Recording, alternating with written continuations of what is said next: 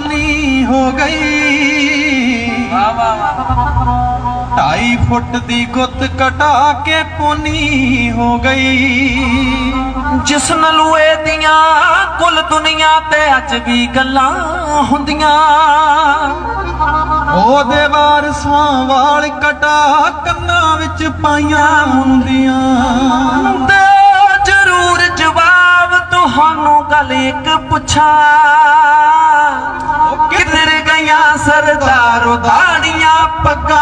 ਮੁੱਛਾਂ ਕਿਧਰ ਗਈਆਂ ਸਰਦਾਰੋ ਦਾੜੀਆਂ ਪੱਗਾਂ ਮੁੱਛਾਂ।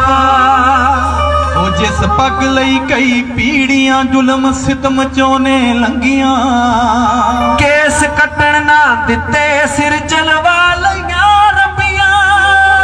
ਉਹ ਜਿਸ ਪੱਗ ਲਈ ਕਈ ਪੀੜੀਆਂ, ਜ਼ੁਲਮ ਸਿਤਮ ਚੋਂ ਨੇ ਲੰਗੀਆਂ ਉਹ ਕੇਸ ਕੱਟਣ ਨਾ ਦਿੱਤੇ, ਸਿਰ ਚਰਵਾ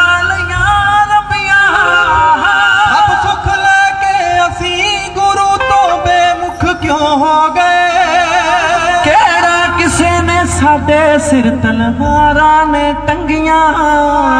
ਉਹ ਪੁੱਤਵਾਰ ਕੇ ਪਾਲਿਆ ਪੁੱਤਵਾਰ ਕੇ ਪਾਲਿਆ ਸਾਨੂੰ ਵਾਂਗਰ ਪੁੱਤਾਂ।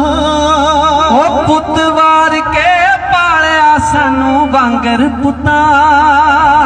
ਕਿਧਰ ਗਈਆਂ ਸਰਦਾਰ ਦਾੜੀਆਂ ਪੱਗਾਂ ਮੁੱਛਾਂ।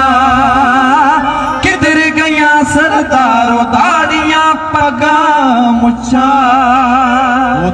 ਸਿੱਖਾਂ ਦੀ ਛੋਟ ਡਰਸਾਂ ਵਿੱਚ ਨਾ ਜੱਜਦੀ ਏ।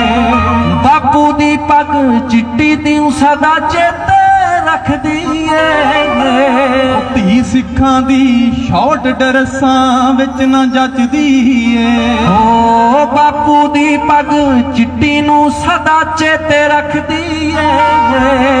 ਪਰ ਅੱਜ ਦੀ ਮੁਟਿਆਰ ਭੁਲਾ ਕੇ ਸੰਗਾ ਸ਼ਰਮਾਂ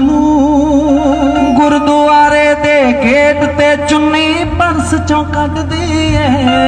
ਉਹ ਪਰ ਅੱਜ ਦੀ ਮੁਟਿਆਰ ਭੁਲਾ ਕੇ ਸੰਗਾ ਸ਼ਰਮਾਂ ਨੂੰ। ਗੁਰਦੁਆਰੇ ਦੇ ਗੇਟ ਤੇ ਚੁੰਨੀ ਪਰਸ ਚੋਂ ਕੱਢਦੀ ਏ।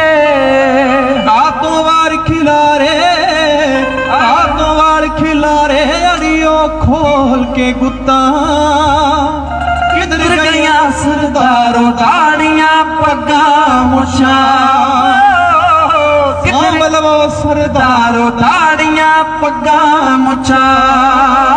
ਸਾਂਭ ਮੁਟਿਆਰੋ ਸੂਟ ਚੁੰਨੀਆਂ ਤੇ ਗੁੱਤਾਂ